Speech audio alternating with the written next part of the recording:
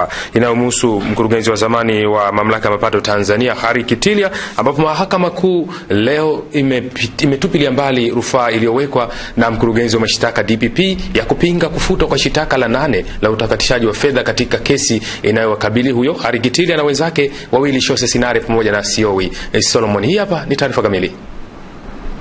Uamuzi huo umetolewa na jaji mfawidhi wa mahakama kuu ya Tanzania kanda ya Dar es Salaam Moses Mzuna, ambapo ametaja sababu za kutupilia mbali rufaa hiyo ni pamoja na rufaa yenyewe kuwa na dosari za kisheria, huku akisema upande wa jamhuri bado una nafasi ya kurekebisha hati ya mashtaka.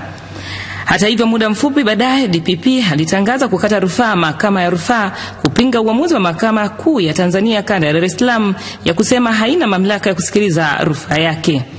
Mahakama ya Kisutu haijatufungia mlango kufanya marekebisho ya hati yetu ya mashtaka ambayo ilidaiwa kwamba ina dosari.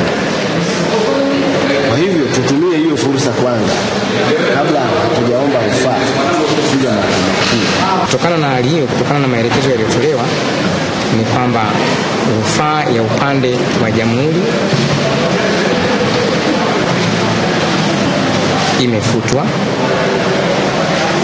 na kwa hiyo shauri linatakiwa lirudi kwenye mahakama ya hakimu mkazi kuendelea pale lilipokuwa limeishia,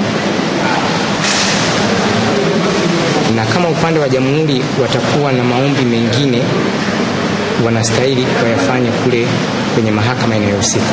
Sisi tumepokea uamuzi wa furaha, sababu tulikuwa tunaamini kabisa wakati tunatoa hiyo hoja kwamba maamuzi madogo hayawezi yakafanyiwa rufaa, hasa yanayotoka katika mahakama ya chini kwenda mahakama kuu, na tuliona ni vizuri tukalisema hilo, kwa sababu tayari kulikuwa kuna maamuzi mengi tu ya mahakama ya rufaa ambayo yalikushaamua kitu cha namna hiyo. Aprili 27 mahakama ya hakimu mkazi Kisutu ilifuta shtaka la nane la utakatishaji fedha katika kesi inayomkabili aliyekuwa aliyekuwa kamishna mkuu wa mamlaka mapato Tanzania TRA Heli Kitiria na wenzake wawili Shoses Nare na Sioi Solomon, ambao alisema hatua hiyo inatokana na kutokuwa wazi kwa kosa hilo, kwani hakuna maelezo yanayoonyesha namna gani washtakiwa walivyotenda kosa.